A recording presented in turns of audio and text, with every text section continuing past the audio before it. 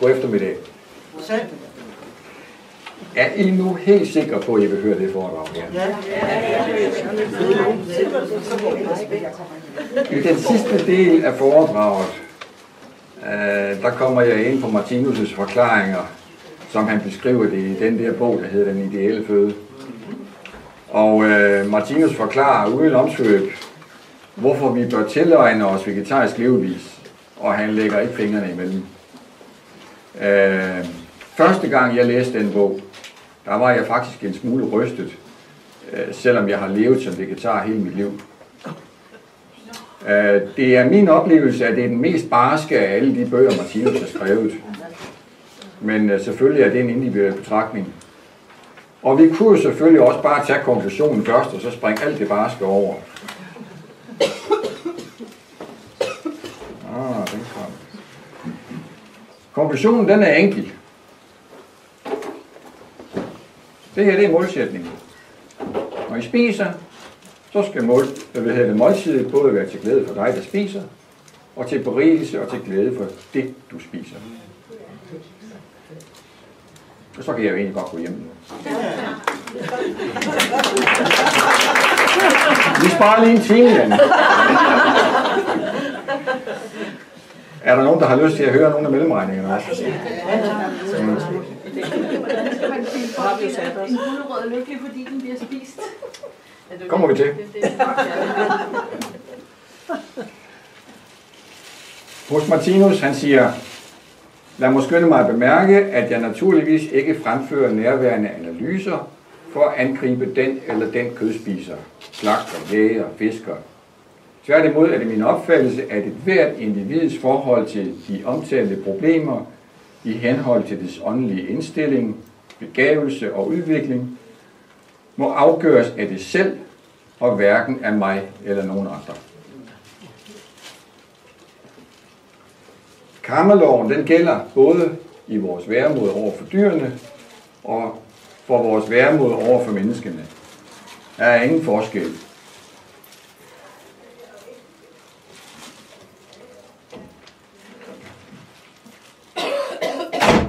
Tak. Tak.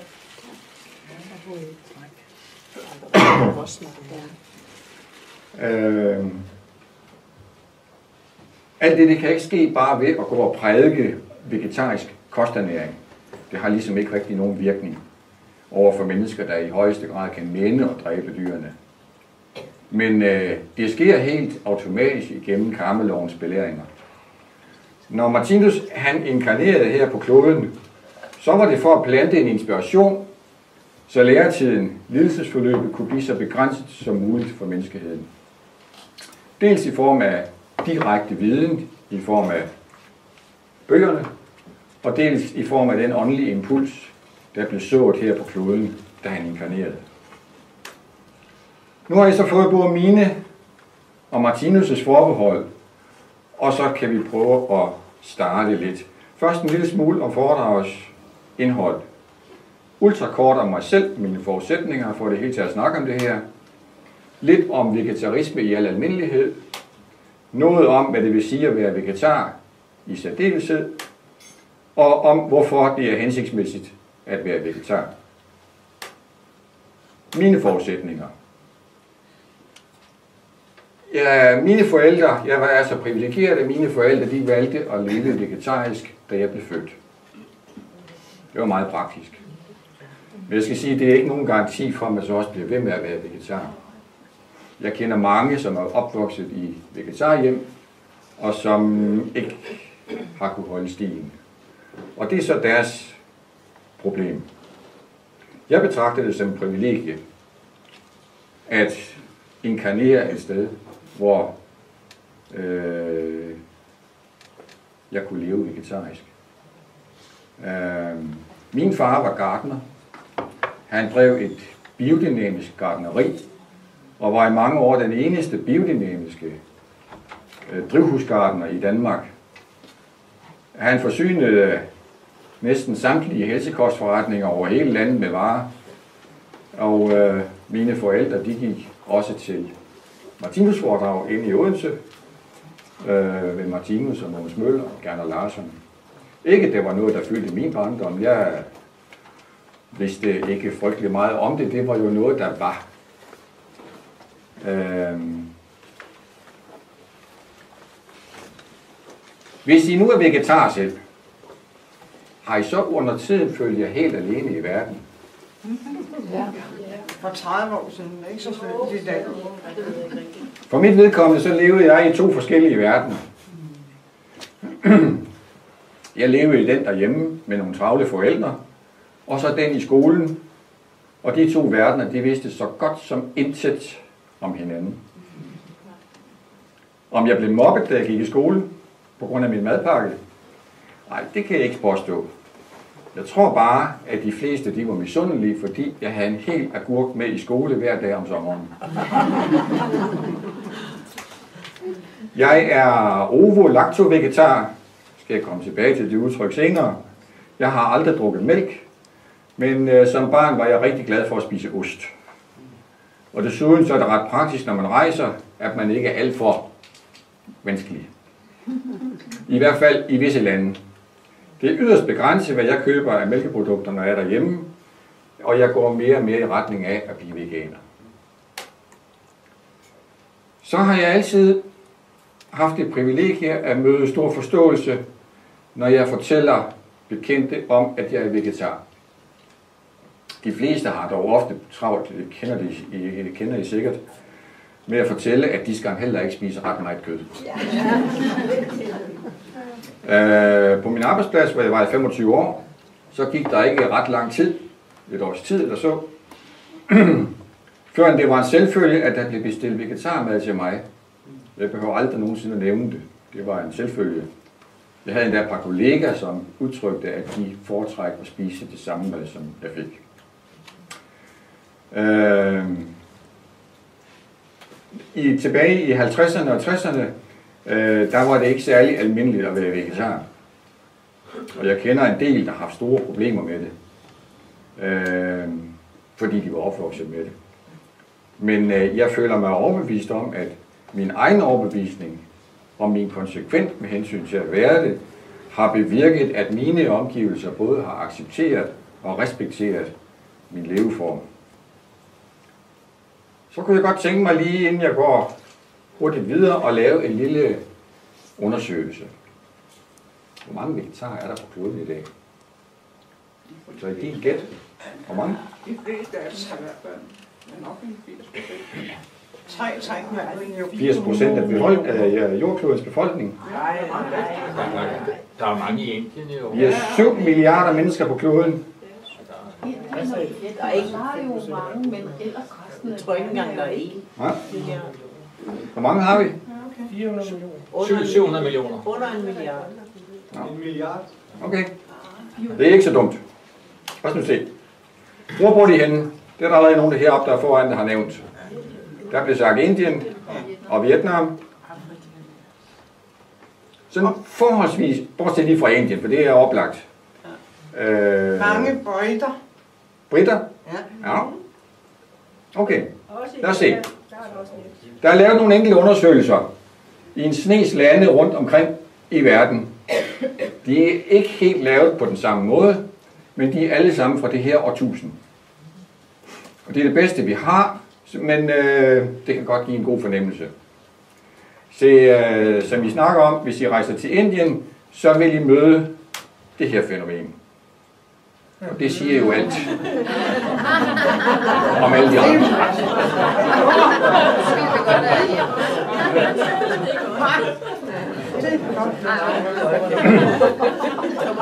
Må I Indien, der kan I stort set få noget at spise hvor som helst. Øh, det man bør mest kigge efter, øh, det er hygiejneforholdene. Selvom risikoen for at få maveproblemer er enormt reduceret, når de animalske produkter er udladt. Jeg kender mange, også ikke vegetarer, der spiser vegetarisk, når de er på rejse. Samt, simpelthen af sikkerhedsmæssige grunde. Men nu har vi nævnt Indien. I har ikke nævnt det land, der sådan forholdsvis har de fleste vegetarer. Er det Afrika? Det siger undersøgelsen i hvert fald. Det vil sige, at der skal være knap en million øh, vegetarer i Sverige. Og hvilken grad af vegetarisme de så udøver, det skal jeg ikke kunne sige. Det siger undersøgelsen ikke noget om. Men øh, ganske mange. Det andet land, det overrasker i særdeleshed mig. Men det er... Hvad er det for et land? Det var Østrig. I kan måske knæ for neden. Øh, Is- Israel med 8 procent. Det giver en god halv million. Der er Brasilien. Der er faktisk forholdsvis mange i Brasilien. Det er et stort land. Så det bliver til 15 millioner. Så er der den lille ø Taiwan. Der bor mange mennesker. 7,5 procent af dem. 1,7 millioner. Hvor mange bor der i Taiwan? Ah, Det må du selv regne ud bagefter. Øh, Tyskland, Tyskland det, den er meget interessant, fordi den virker, virker, viser lidt om, hvad det er for en ny verdensimpuls, der er ved at eksplodere. Øh, så for nylig, inden for de sidste par år, er der startet en ny veganer indkøbskæde.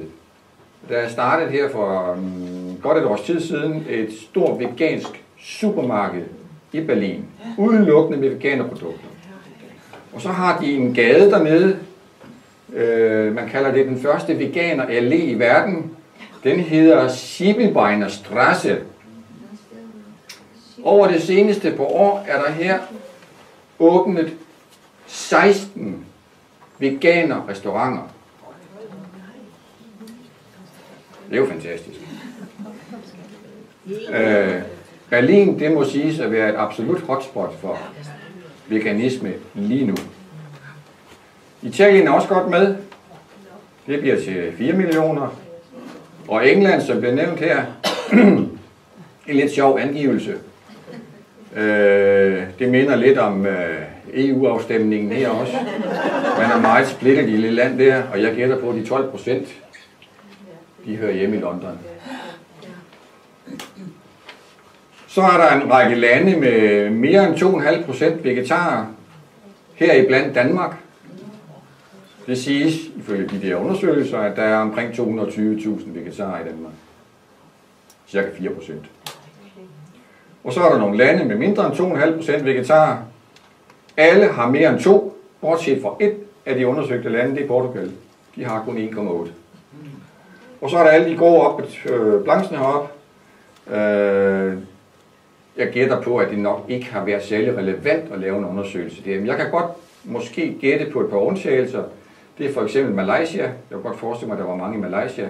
Du har nævnt Vietnam.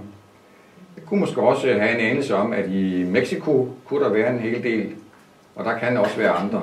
Men øh, man har nok primært lavet undersøgelsen af de steder, hvor der var en formodning om, at der var mange. Talt sammen 670.000, så der var en hernede, der var ret tæt på. Øh, Millioner. 670 millioner, ja. 30 millioner. Meget stort andel af dem, kan I se, bor i Indien. Øh, Kina bliver til 55 millioner. Jeg havde for øvrigt den overraskende oplevelse, da jeg var i Kina for et par år siden. Øh, Jeg har ikke de store forventninger om, hvad man kunne få at spise i Kina. Og så gav jeg mig til at søge på den øh, website, website, der hedder Happy Cow, hvor man finder vegetariske restauranter rundt omkring i verden. Og inden for den firkant i Beijings centrum, så den inden for nogenlunde rimelig rækkevidde på, på gåben, der var der 50 vegetariske spisesteder. Fine og flotte, og de fleste er buffet-ting, så det er ganske fortrindeligt. I Brasilien, på grund af deres store befolkningstal, 15 millioner. USA, ah, det er ikke særlig fremragende, de har 2,6 procent, men det bliver til mange, når man er mange mennesker. Og endelig så er der også Rusland med cirka 5 millioner. Sjovt nok er der flere, forholdsvis flere vegetarer i Rusland end i USA. Så engang der vil man have den opfattelse, at, alt dette, at dette er indtaget dyrs organismer som føde, det er lige så barbarisk som vi synes, at kannibalisme er det. Og nu må I ikke misforstå mig og tro mig, at jeg kritiserer mennesker, der spiser kød. Personligt foretrækker jeg at være sammen med en kærlig og tolerant kødspiser, end med en fanatisk og intolerant vegetar. Men det er min opgave at vise menneskene alle de områder, hvor de overtræder loven for tilværelsen, det vil sige kærlighedsloven, og derfor er det nødvendigt, at jeg påviser alle de overtrædelser, der finder sted i menneskets forhold til sin egen mikroverden. Jeg gør det ikke for at genere nogen, men udelukkende for at vise mennesker både vejen, vejen både på den ydre og på den indre front, til den tilstand, hvor smerte og lidelse ikke længere behøver at eksistere. Og det vil vi så kigge på lige om lidt. Det der med mikroverdenen, det er jo ikke noget, der er bekendt for ret mange, at det har nogen som helst betydning. Men hvorfor er der så mange, der allerede er blevet vegetarer? De færreste her på kloden kender jo til Martinus' tanker. Det må vi jo sige. Hvorfor? Jeg har plukket nogle af de mest oplagte begrundelser ud. Oplagt er det selvfølgelig religion. Øh, vi har nævnt hinduismen, eller rettere, vi har nævnt ind. Vi har nævnt Indien, øh, og de har et ideal derude om ikke at øve vold imod dyr. I kender alle sammen omkring de hellige køer. Så er der forskellige øh, buddhistiske øh, retninger. Øh, Mahayana-buddhisterne for eksempel anbefaler vegetarisme som gavnlig for udviklingen af barmhjertighed. Øh, syvende dags adventisterne, mindst halvdelen siges at leve vegetarisk. Det var dem, der etablerede den fabrik, der hed Nutana, som de fleste af jer sikkert kender. Og så vil jeg nævne øh, Hare Krishna. Det er egentlig også noget hinduistisk. Øh, det er dem med øh, Govinda-restauranterne rundt omkring. Man kan næsten finde en Govinda-restaurant i de fleste store byer verden over. Så er der en anden god grund. Eller andre gode grunde. Det kan være etiske grunde. Det kan være udslag af den globale øh, opvarmning, fordi det er blevet hjertesag for mange at være miljøbevidst vegetar. Det kunne der siges meget om. Øh, miljøbevidsthed, så er der selvfølgelig sundhed, det er helt oplagt. Nutana opstod for eksempel i sin tid, fordi mange blev beordret til at leve på en anden måde af deres læge. De måtte ikke spise fed mad og kød og sådan noget der. Og så lavede Nutana oprindeligt nogle produkter, som lignede lidt. Og vi, der er vokset op med det, bryder os ikke ret meget om det, fordi det minder for meget om noget, vi ikke kan lide. Øh, så er der selvfølgelig den faktor, der hedder hungersnød. Det kan enten tvinge nogen til at være det, fordi de ikke har råd til at købe det, men øh, det er jo også et problem, at 80% af landbrugets areal rundt omkring i verden, det bliver brugt til dyrfoder. Endelig er der jo Martinus' den ideelle føde. Det er simpelthen en intellektuel beslutning. Det er selvfølgelig en uafvendelig udvikling, men i den sidste ende, så skal vi beslutte det intellektuelt. Hvad vil jeg så sige at være vegetar? Først lige et par sjove historiske bemærkninger. Ordet vegetarisme kan føres tilbage til 1847.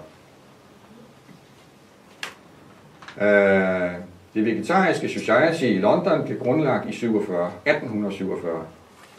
De hævder at have skabt ordet vegetar ud fra det latinske ord vegetus. Og sjovt nok så betyder det jo livlig, helt sund eller frisk. Det er jo ganske pudsigt, synes jeg. Uh, det er næppe nogen tilfældighed, at det netop blev England, der stiftede den første vegetariske forening i Europa, når man tænker på deres massive tilstedeværelse i Indien i kolonitiden. Til de personer, I møder på jeres vej, der stadigvæk tror, at man kan spise røde bøffer, eller man skal spise røde bøffer, for at være fysisk stor og stærk, så kan jeg fortælle, at undersøgelser for nylig har påvist enorme mængder af strontium i knoglerne på gladiatorernes, øh, på romertidens gladiatorer. Øh, det var knogler fra gladiatorer nede på, i Efesos i, øh, i Tyrkiet, som man har undersøgt, de viser dobbelt så højt indhold af strontium som i andre. Det antyder, at disse veltrænede folk, for det var de, det var et barsk liv, de levede, men det antyder, at disse folk næsten udelukkende har levet af vegetarkost. Det er bevist. Hvis I slår op i en ordbog eller et leksikon i dag, så vil de fleste af dem mene, at det engelske ord vegetarian blev dannet ud fra ordet vegetable, og så tilført et suffiks. Det er betydeligt mere sprogligt korrekt, og det er det, man bruger i dag. Hvad vil det sige at være vegetar? Jeg vil gøre meget hurtigt, for I kender det hele. Veganer. Ja, de spiser hverken kød, fjerkræ, fisk, æg, mælk eller honning. Og formentlig køber de heller ikke lædermøbler, går ikke i lædersko osv. osv. De bruger ikke noget øh, fra dyr overhovedet. Så er der en masse forskellige øh, hedder det, afarter. Øh, laktovegetarer, de kan godt spise mælk og honning. Der er ovo-vegetarer, de kan godt spise æg, men de drikker ikke mælk. Så er der nogle lacto-ovo, nogen. De kan godt spise både mælk og æg og honning. Og sådan kan man jo øh, kalde sig vegetar på mange måder. Øh, Pesco-vegetarer, ja, de spiser fisk. Det, det hedder under det har det stået hos Vegetarforeningen tidligere. Altså, jeg har jo det problem for eksempel med min mor, som, som for nogle år siden begyndte at få, øh, få mad fra kommunen. Øh, det måtte vi slås lidt med. Øh, Der havde man den udbredte opfattelse, at vegetarer, de skal også spise fisk. Det har været til stor glæde for min mors nabo, fordi hun har fået mange af de der laks og hvad, øh, hvad der ellers blev putt hende. Øh, hun spiser dem med største fornøjelse, det er jo fint. Øh, Udover det på planchen heroppe, så er der endelig en, øh, her, det, en variation, som jeg engang hørte Ole Terkelsen omtale lidt foragteligt i et foredrag. Det var lacto, ovo, pesco, pollo, carno vegetar. Ja, ja. Den der med Carlo, den er god. Endvidere så er der på det seneste dukket endnu et par begreber op. Jeg skal bare nævne to af dem. Den ene det er raw food. Jeg er ikke nødvendigvis vegetar, fordi man spiser raw food, men, men i og med, at man ikke opvarmer noget over 42 grader, øh, så er det måske meget praktisk, at det er ret vegetarisk. Øh, der dukker sandelig raw food veget, hvad hedder det, restauranter op rundt omkring, også i Danmark. Og øh, min gode ven øh, Tommy, han fik konstateret en prostatacancer for 10 år siden. Øh, blev opereret, men sagde pænt nej tak til både stråling og til kemo. Øh, han begyndte efter anvisninger fra, øh, hvad hed hun, Strårup på Sjælland, mhm øh, og spise raw food. Det har han gjort siden, så det er 10 år nu. Og han går til regelmæssige undersøgelser på Rigshospitalet, og de fatter en bønne, fordi at øh, hans øh, tal, som man, man nu tester i blodet, øh, de ligger fint og konstant, og måske endda oven i købet en smule faldende, og det forstår de ikke. Han fortæller vidt og bredt om, hvad det er, han gør, og siger, jamen bare bliv ved med det, det er fint øh, men så er der også samtidig en, der spørger ham, øh, hvorfor han dog ikke vil have det der øh, sådan en kemobehandling. Så siger han til dem, jamen så kan jeg jo ikke gå på arbejde. Og så er de i hvert fald ned af stolen, fordi går du på arbejde? Det kan du da ikke i din situation. Jo, han har fint passet sit arbejde de 10 år. Han er bygningshåndværker. Den anden, jeg vil nævne, det er frutianisterne. Øh, eller fruktianere. Øh, de indtager en kost af frugt og nødder og frø og andre plantedele, såsom agurk og tomat, som kan samles ind uden at skade øh, planten. Tanken bag er den, at frugter kan spises uden at ødelægge selve planten. da den netop er dannet for at blive spist.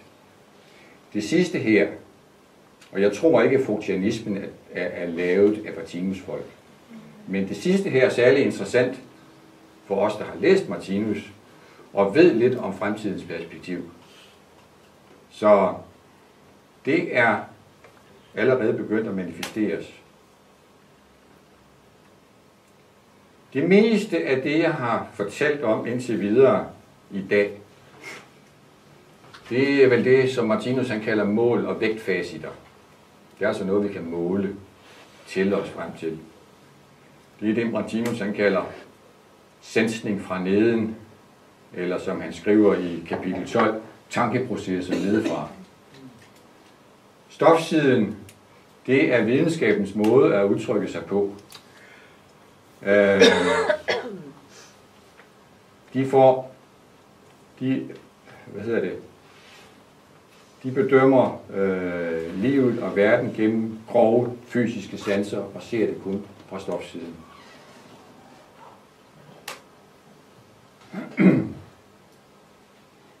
Som Martinus selv udtrykker det, så er det ikke hans opgave at skrive kogebøger, eller berette om hvad hedder det, vitaminer og mineraler. Det er videnskaben rigtig god til. Martinus taler således om tankeprocesser oppefra. Ved tankeprocesser ovenfra forstås den højeste sansning eller oplevelse gennem den hellige ånd, hvor alt iagtages fra livssiden. Det er væsentligt, måske i relation til det her emne, at kende til at skelne mellem de to begreber.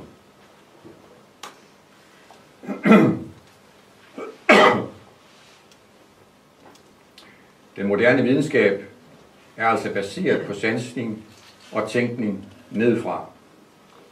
Det vi ikke kan måle og veje, det eksisterer ikke. Men senere, der vil udviklingen føre os frem til at se tingene i højere og højere grad oppe fra livssiden. Og til den tid vil vi blive hævet over mange af de illusioner, faldgrupper og kommercielle interesser, som sansningen fra stofsiden repræsenterer. I det følgende vil jeg forsøge sammen med Martinus hovedsageligt, at vi kan se på fødeindtagelse set ned fra livssiden. Ej, jeg vil nok forsøge indimellem at perspektivere det lidt fra det, vi kan måle og veje, altså fra stofsiden. Som sagt skrev Martinus bogen Den ideelle føde i 1933. Faktisk nu er det aller tidligste, han skrev. Livets bog B1 udkom i 32. Øh, den blev først publiceret i Kosmos og fordelt over otte numre. I april 1933 kom det første. Og senere er den så optrykt som småbog flere gange. Første gang i 42.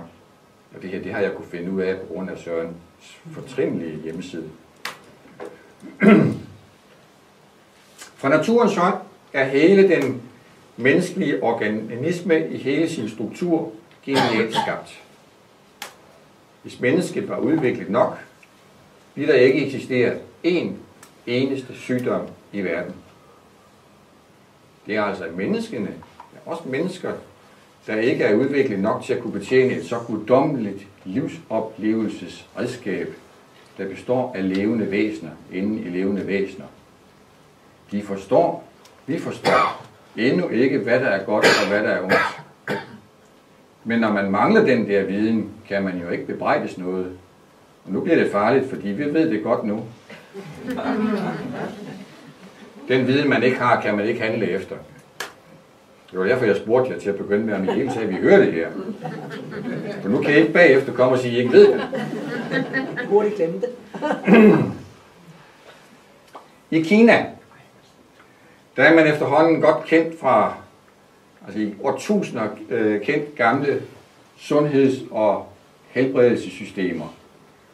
De havde en holistisk forståelse, og I kender alle sammen lidt til læren om akupunktur og kroppens meridianbaner.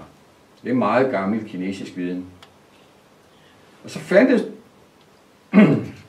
Jan, kan du ikke finde noget vand til mig?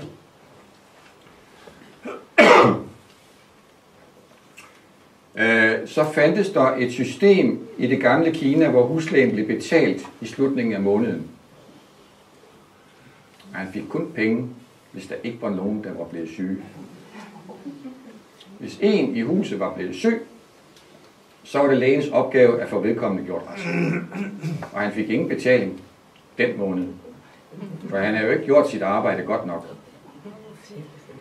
Lægens arbejde var at forebygge et dårligt helbred ved at give familierne de rigtige levevaner og den rigtige føde. Han havde en personlig interesse i, at ingen blev syge.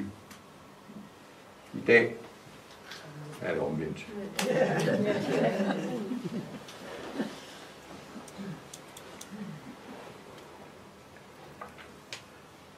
Det er en meget vanskelig tid, vi lever i, for vi har mistet instinktet for at vide, hvad der er rigtigt. Og vores intelligens er endnu så beskeden, at vi bestandig farer rundt i hælene på den ene kostekspert efter den anden. De ved det heller ikke. Fødevareindustrien, de går mest op i profit. De fylder uden blusel produkterne med konserveringsmidler, tilsætningsstoffer, farvestoffer og det, der er værre. Specielt medicinalindustrien har en, industri, øh, en interesse i, at vi alle sammen går og skrænter lidt. Og gør meget for at fastholde os i den tro, at man kan afhjælpe sygdomme med kemiske bekæmpelsesmidler. Det er i bedste fald kun symptombehandling. Martinus skriver i det første kapitel af sin bog, Den ideelle føde, at jordmenneskenes ernæringssanser er forkvaklede. Det er faktisk titlet på det kapitel. Jordmennesket er en flygtning mellem to riger, dyreriget og det rigtige menneskerige. Det har vi efterhånden hørt nogle gange i dagene her. Vi er nødt til at tilegne os en holistisk livsopfattelse for at slippe fri af de mange illusioner og faldgrupper, som sansning for neden repræsenterer. Vi er nødt til at lære, hvordan de levende organismer, vi består af, interagerer med hinanden, for at vi kan skabe en harmonisk tilværelse øh, uden alle de der sygdomme. Vi er simpelthen ikke intelligente nok til at vide, hvad der er rigtigt.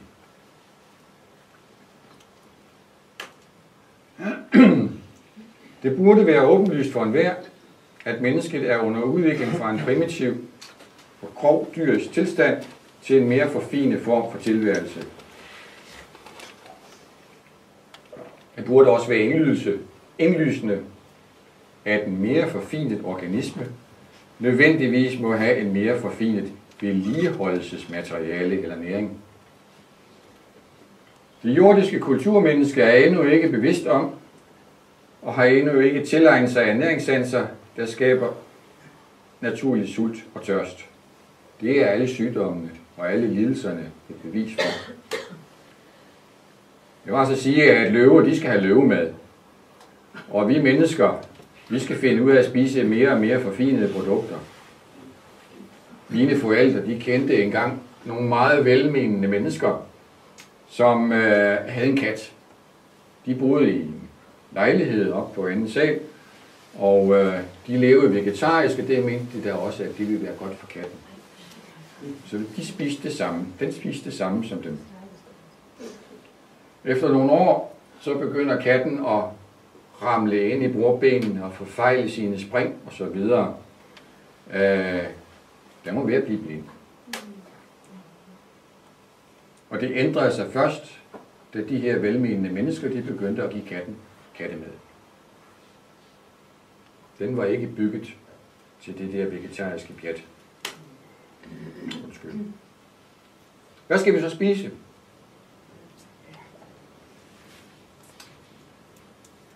Ja. Hvad skal vi spise? Lad os få en kostplan for en uge. Det afhænger jo helt præcist af, på hvilket udviklingstrin vi står på. Øh, næsten ingen mennesker i dag dør af alderdom.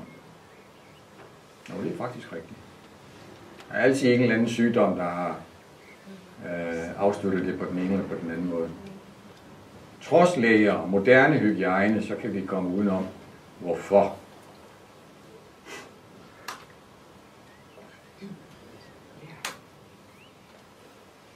På grund af fejlernæring. Forkert ernæring. På vikingetiden, der var man betydeligt nærmere ved dyreriet. Kød passede til lægemstrukturen, det er derfor, man tror, at de der store, stærke mænd, det er, de er nødt til at spise kød for at være store og stærke. Det skulle man dengang. Det skal man ikke længere. Øh, siden er der sket en forandring i såvel læme som tankevirksomhed og blodsystem. Det er ikke muligt for os at leve, som vi gjorde på Rolf Krakes tid. Råvarerne dengang, de var nok i nogen grad sundere, end de er i dag. Øh, men råt kød og grove fødevarer, de passer ikke længere til vores lægemstruktur.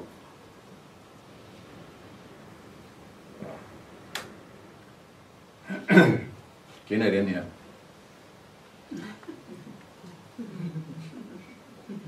Hvorfor har vi det så dårligt? Vi synes, vi gør det alting rigtigt. Ja, hvorfor må det? Der er rigtig mange faktorer inde i billedet. Som sagt skal rovdyr, de skal bestå af stof fra mikrovæsener, der er rovdyr. Og de skal spise rovdyrene. I kan huske historien om katten. Det forekommer næsten at være enklere at være rovdyr, end at være der, hvor vi er nu. Men lad os nu lige se. Øh, vores nuværende fysiske form, den er betinget af tre faktorer. Lige nu skaber vi fundamenterne for vores kommende tilværelser. Kontinuerligt, hele tiden, i vores væremåde og vores gøremåde. På samme måde er vi resultater af vores fortid. Men øh, vi har egne af, afanlæg fra tidligere tilværelse. Det er både kammerloven og talentkerner. Men vi arver naturligvis også fra vores nuværende far og vores nuværende mor. Øh, men inden nogen de sådan begynder at bebrejde deres forældre for et problematisk eller uheldigt arvemateriale, så skal jeg lige minde jer om, at I selv har valgt jeres forældre. I har selv skabt betingelserne for den inkarnation, I er gået ind i. Og det er sket ud fra nogle meget, meget strikte kriterier. Martinus beskriver det på den måde, at udpegningen af et forældrepar, det kan sammenlignes lidt med en avanceret jælelås. Nøglen passer kun der, hvor man kan finde lige præcis de optimale betingelser for den udvikling, man har valgt at få pusset af. Oh, hvad sker der her? Hvorfra? Det ved jeg ikke, hvorfor den vil gentage det. Det gør den også. Gentagelsen bare må forstå. Ja. Det var den der, vi har frem. Vi er alle sammen diamanter. Og skal slibes. Vi er mere eller mindre fuldkommende. Der er stadigvæk nogle facetter, der trænger til at blive slebet eller poleret. Men hver gang vi inkarnerer, sliber vi på den facet, der trænger mest. Det er da betryggende at vide, ikke? Så ser det hele ikke ud så slet så vanskeligt længere. Øh, forældrearven, den dominerer frem til 30-årsalderen. Øh, og herefter er vi ved at være færdige med at repetere, og så dominerer vores egen aflighed og vores egen medfødte talenter fra tidligere tilværelser. Det her symbol kender I selvfølgelig godt. Kender til det kosmiske øh, spiralkredsløb. Vi ved godt, at der findes foreteelser, der er langt, langt større end os. Kloder, sole, galakser. Men at de er levende organismer og levende væsener, ja, det ved I måske nok. Men ude i almenhedens forståelse, der benægtes det fortsat af de fleste. Og så er der de underliggende spiraler i mikrokosmos. Dem har vi en anelse bedre opfattelse af. Vi ved godt, der er myriader af mikroskopiske væsener, bakterier og virus, men øh, ofte opfatter vi disse som noget, der skal bekæmpes, noget, der skal slås ihjel. Vi bruger antibiotika, og andre giftstoffer på samme måde som i landbruget, som i stor stil forgifter miljøet, i stedet for at skabe en fornuftig harmoni og balance i organismerne. Og uden at vide, at langt de fleste mikroorganismer ikke alene er ufarlige, men de er også fuldstændig uundværlige. Vi lever altså i et makrovæsen, som giver os de betingelser, som vi har brug for. Og I kender symbolet her. Hvis I placerer jer selv her som makrovæsen i centrum, ja, så er vi jo omgivet af en række organer. Øh, så vidt jeg husker, er der nogen af 70, men her på symbolet er der bare blevet plads til 8. Hver af disse organer er opbygget af mindre dele af celler, og hver af de celler er opgivet, øh, om, hvad hedder det, opbygget af endnu mindre enheder, og så fremdeles. Der er ingen nedre øh, grænse i, i det symbol, der er heller ikke nogen øvre grænse. Øh, vi lever altså i et uendeligt system af livsenheder inden i livsenheder. Lad os lige bare ganske kort se på os selv. Vi befinder os i slutningen af dyreriget, et eller andet sted i det område heroppe.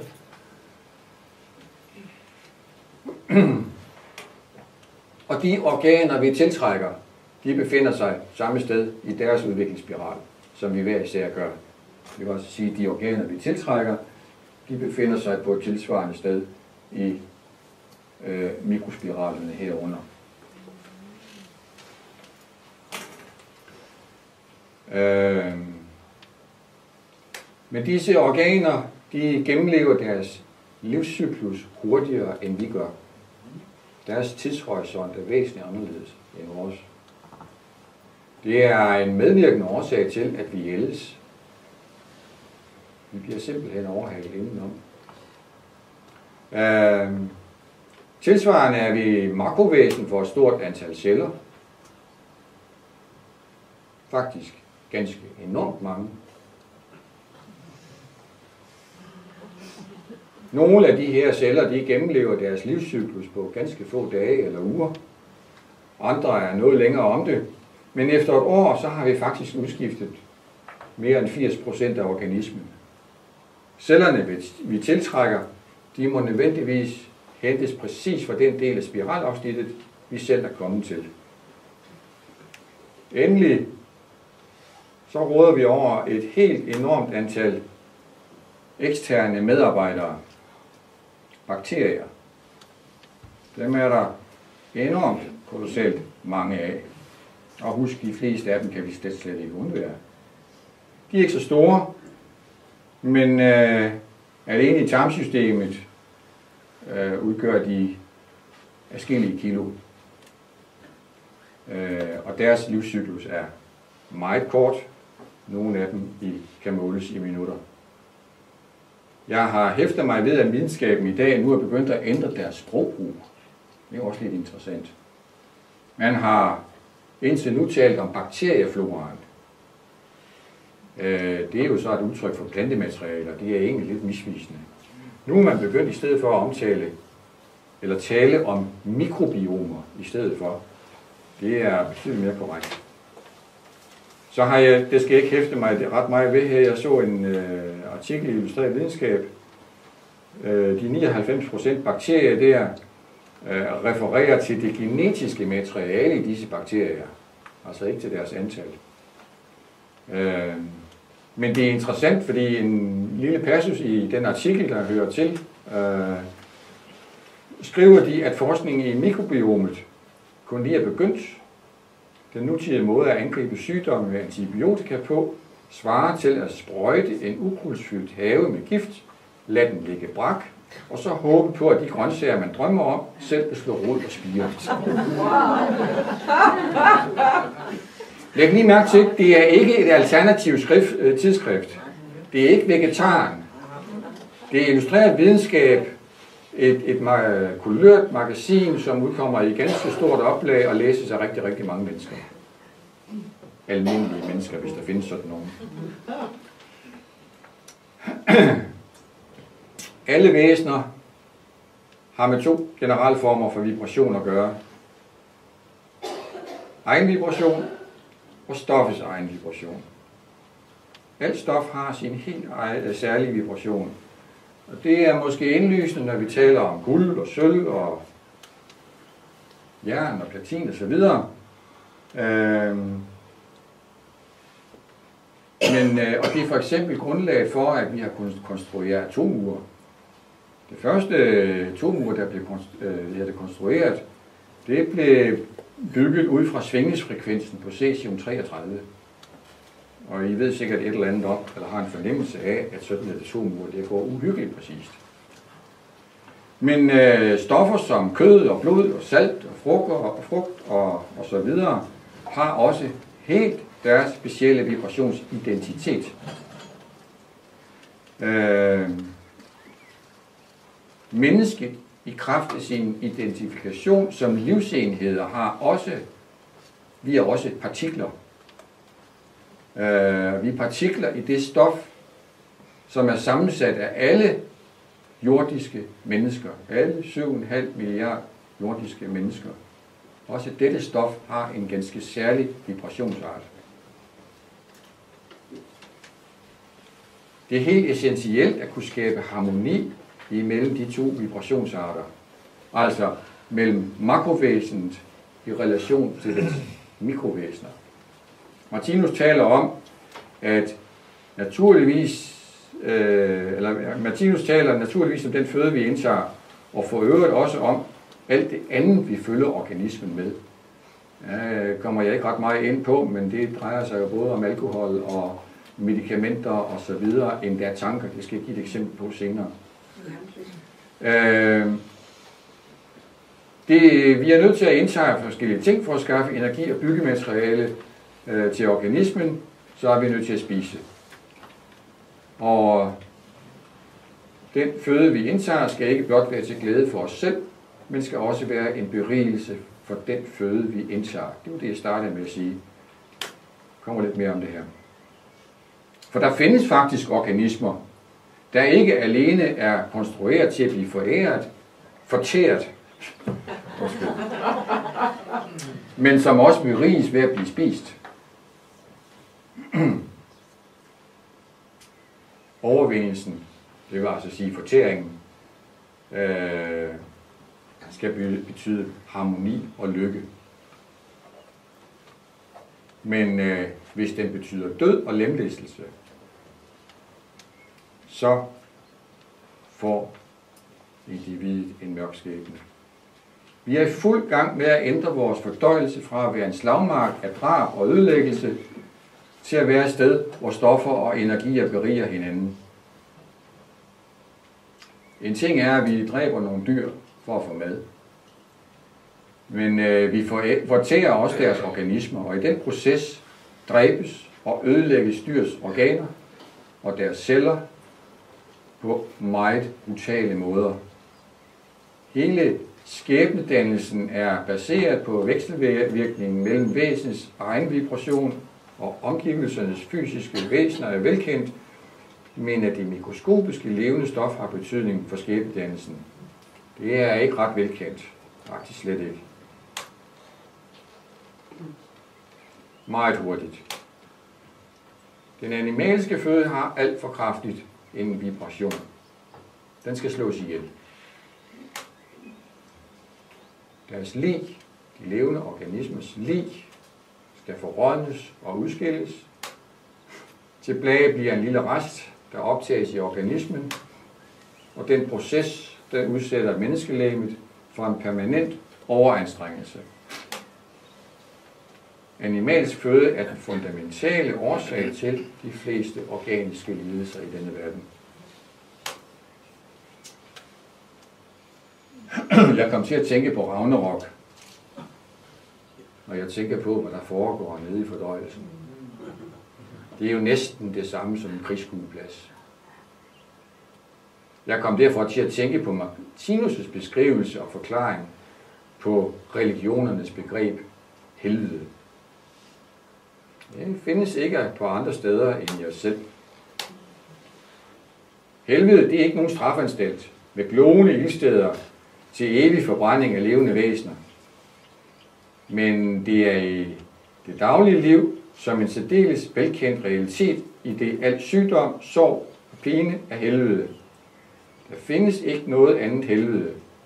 Sygdom, sorg, pine, elendighed er udtryk for virkninger af de handlinger, som ikke har været i kontakt med de evige love, der opretholder verdensaltet. Helvede bliver på den måde et udtryk for den samlede disharmoni i tilværelsen.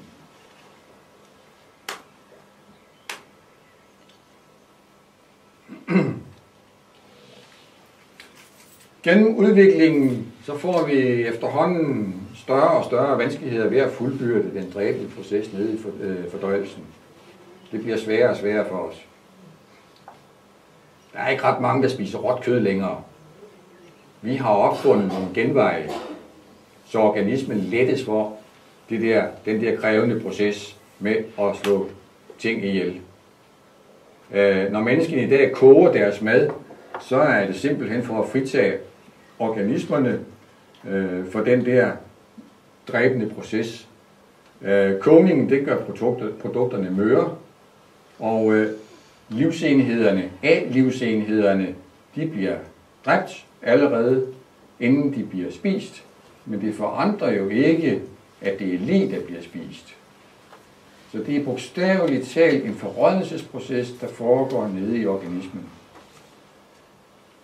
Den forrådnelsesproces, den frigør B-livsenhederne. Men samtidig frigøres der også en mængde nedbrydende og skadelige stoffer, som vi har problemer med at frigøre os for.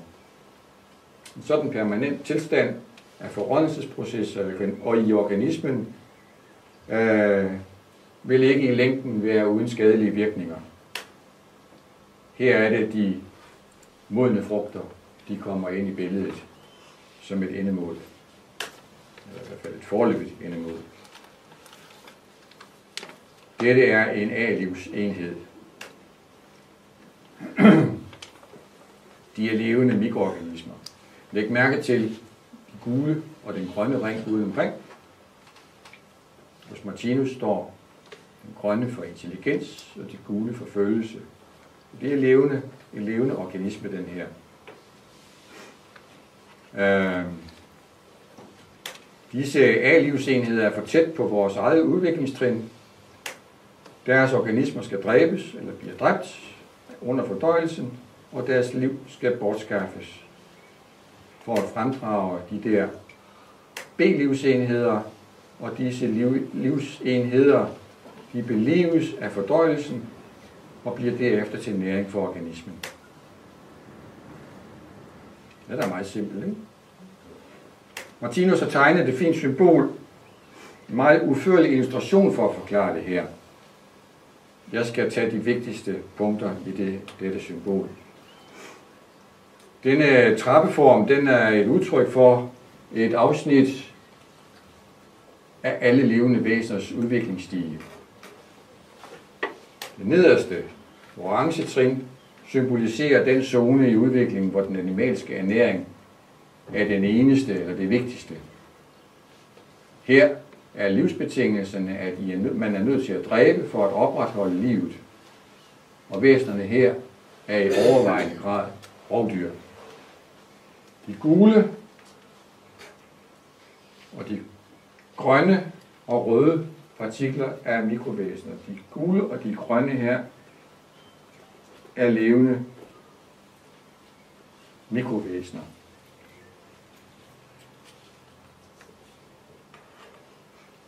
Disse levende, levende livsenheder danner den materie, som vi udtrykker som værende animalsk. Martinus beskriver de animalske livsenheders rejse gennem fordøjelsesorganerne, som jeg har nævnt som det rene Ragnarok. De består af øh, mikroorganismer, der får en meget unaturlig død. Vi kan lige prøve at se, hvordan Martinus udtrykker det her. Du kan selv læse.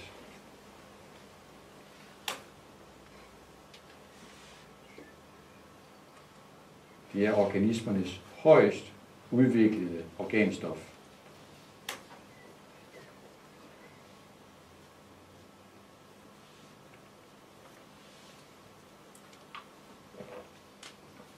Disse livsenheder, de har en vågen, dagsbevidst livsopfattelse. Ikke ret mange her på kloden endnu, der tænker ret meget over. Disse livsenheder, de kan føle smerte, og de kan føle lidelse. Og det kommer de så ud for, når de bliver optaget som føde i en eller anden organisme, hvad enten det er dyr eller mennesker.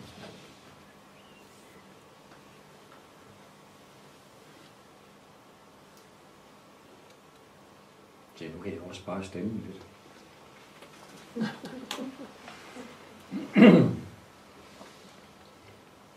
altså kød, det det handler om.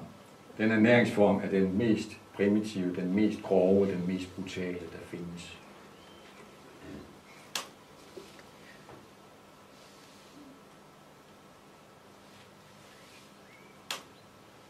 At det er mikrovæsener ændrer ikke karmeloven.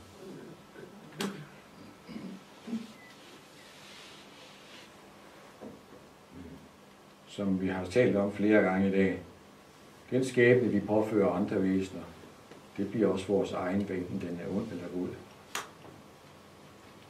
Heldigvis, så er det ikke Moseloven, der gælder her. Vi skal altså ikke slås ihjel 520 milliarder gange, fordi vi nu har spist røde bøffer i de sidste mange år. Øh, vi bliver kun undervist, indtil vi har forstået lektien. Vi går lige tilbage til symbolet her. Øh, det næstnederste trin på symbolet symboliserer den del af dyreriget, hvor det jordiske ufærdige menneske befinder sig. I kan se den orange farve, symboliserer det dyriske væsen, og den gule farve symboliserer det menneskelige væsen. Den nederste halvdel er orange, og den øverste del er gul. Og vi befinder os et eller andet sted på udviklingsvejen derimellem. Øh, den vegetariske ernæring, som vi her i stigende grad benytter os af, består altså af livsenheder. Men øh, de tilhører planteriget i mikrospiralen. Og da livsenhederne her ikke har nogen vågen dagsbevidsthed på det fysiske plan, ud over en anelsesevne, så kan det ikke direkte føle smerte eller lidelse. Det kan kun ane behag eller ubehag. Og her har vi den bedst egnede føde til de højst udviklede væsener på jordens fysiske plan. Den lille figur oppe for oven til venstre repræsenterer en livsenhed, en animalsk livsenhed. Trekanten betyder dens jeg. Den violette farve ude omkring trekanten symboliserer dens overbevidsthed. Og de tre felter udenom repræsenterer menneskets tre kostområder. De grønne og de gule farver i de der amøbeformede figurer symboliserer de der livsenheder, der er for højt udviklede til at blive spist.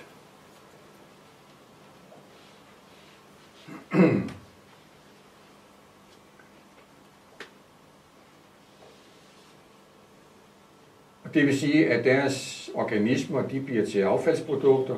Kun de små røde elementer, altså nogen, der har svært ved at få øje på dem, men de små røde elementer herinde, udgør de øh, kraftelementer, der frigøres ved drabene. Den næring kan inkarnere i øh, makrovæsens fysiske organisme som en livsfornyelse. Men øh, vi kan jo sige, at, at ved at overgå til den her kostnydelse, øh, så bliver væsenerne efterhånden helt fri af det dræbende princip med hensyn til ernæringen. Og vil dermed øh, frigøre sig fra den mængde af sygdomme, der plager menneskeheden. Trinet hører i nogen grad til dyreriget, og i nogen grad til menneskeriget. Øh, den lille runde... Det har jeg sgu da sagt. Undskyld. Nå, vi tager en til.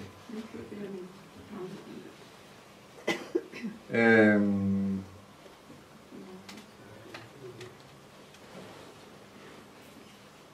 Ja. I den øh, vegetabiliske kostmateriale findes der ikke øh, animalske livsenheder. Øh, så derfor findes der ikke nogen egentlig drabsproces sted. Dette var en B-livsenhed, altså en plantelivsenhed. Øhm, det, der skyldes dens lange ophold i de underlige verdener i øh, deres lys og salighed. Øh, plantevæsenet er mæt af salighed, og det er derfor en nydelse for plantevæsen at opleve en modsætning til lyset. Øh, den menneskelige vibration er dog for voldsom til, at vi udelukkende kan spise eller leve af øh, modne frugter som hovedernæring. Men øh, det kommer vi til på et tidspunkt inden alt for længe. Vores organisme er ved at blive omskabt til at kunne optage ernæringslivsenhederne direkte. Her er den sidste lille rest af drab elimineret ved kun at indtage imodent frugtkød, hvilket vil sige, at vi udelukkende indtager B-livsenheder, der ikke er indkapslet i øh, stoffer, der skal fordærves eller opløses. det her, det er hjemstedet for det rigtige menneskerige. Så har jeg ikke omtalt overhovedet øh, tankeernæringen. Altså det, vi fylder i hovedet, vi ser fjernsyn, vi hører nyheder osv. Der kom jeg til at tænke på, jeg arrangerede i en del år øh, foredrag i Nordjylland. Øh, alt muligt, øh, åndsvidenskabeligt øh, øh, emner. Og der havde jeg på et tidspunkt en øh, Sonja Olsson fra Ramakumaris Verdensuniversitet i København. Hun skulle øh, lave et vikingkursus for os. De arbejder også efter gaveprincippet, skal jeg sige. Hun ville ikke have honorar for det her kursus. Jeg kunne ikke engang få lov til at betale hendes ståbillet. Og så tænkte jeg, hvad, hvad gør du så? Og så vidste jeg jo, at den der kro i den der lille by, hvor vi hørte til, øh, jeg vidste godt, de kunne i hvert fald lave noget vegetarisk mad, som var af nogenlunde kvalitet. Så jeg inviterede Sonja på mad den der lørdag aften. Det synes jeg da, jeg kunne gøre. Og Sonja Olsson, hun sagde pænt nej tak.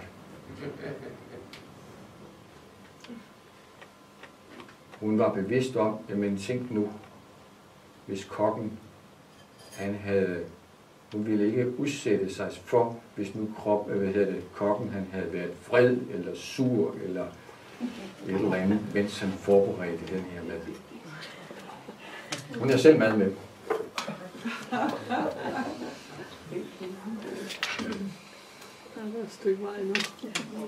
Det sidste trin heroppe, det vil jeg ikke sige ret meget om. Det hører hjemme for os i en meget, meget fjern fremtid. Der er vi ikke længere fysiske væsener. Så kostproblemer, de eksisterer ikke heroppe. Men øh, den grønne farve symboliserer visdomsriget eller intelligensriget, og den blå farve på øverste trin symboliserer den guddommelige verden eller intuitionsriget. Så konklusionen er stadigvæk enkel. Det vigtigste bud, der gælder, du må ikke slå ihjel. Så når I spiser, så skal måltidet både være til glæde for dig selv, og til berigelse og til glæde for det, du spiser. Og så havde jeg tænkt mig, jeg ved ikke om det tillader tiden, Jan, jeg vil slutte med et lille stykke musik. Det var fire minutter. Øh, fordi den mentale tankematerie, nu har I været ført ud i nogle drabelige ting her. Øh, I seneste år, 5, 6, 10 år, har jeg haft for vane under tiden at fotografere min frokost. Så nu får I lige en lille kulinarisk rundtur på kloden. Som sagt, fire minutter i selskab med Krik og Per Kønt.